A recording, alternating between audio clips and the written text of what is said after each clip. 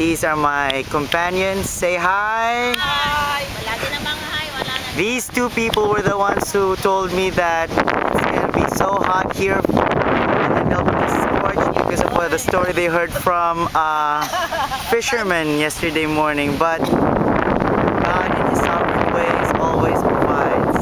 It's cool, it's breezy, and it's not hot at all.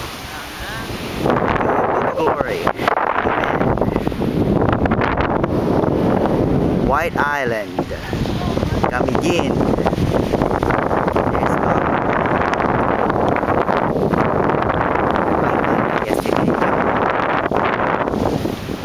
So, mabuhay from Kamigin.